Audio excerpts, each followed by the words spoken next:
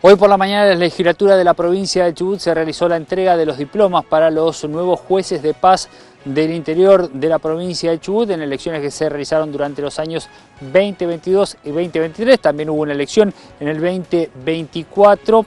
La doctora Camila Banfi, presidenta del Tribunal Electoral provincial presidió justamente este acto y Alberto Martínez es uno de los nuevos jueces de paz, en este caso de la localidad de Telsen, que habló con Canal 12 sobre la importancia de ejercer este cargo.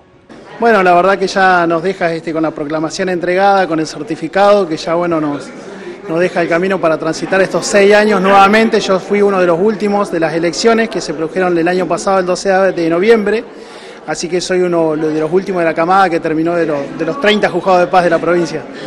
¿Ya está ejerciendo? Sí, sí, sí, sí, yo en realidad estoy en el juzgado desde el año 2005. Pero digo, a partir de ahora, como juez... Sí, sí, sí, sí, sí, sí, ya estamos ejerciendo, sí, sí, sí, continuamos con el periodo. ¿Cuáles son las principales actuaciones que hacen en ese lugar? Bueno, nosotros tenemos una, amplia este, cantidad de actividades para realizar, ¿no? Nosotros tenemos a cargo, somos delegados del registro civil, delegado de la, ley de marcas y señales, este, realizamos tareas administrativas, realizamos certificación de firma y entregamos algunas cuestiones cuando no haya un escribano a 100 kilómetros a la, redonda.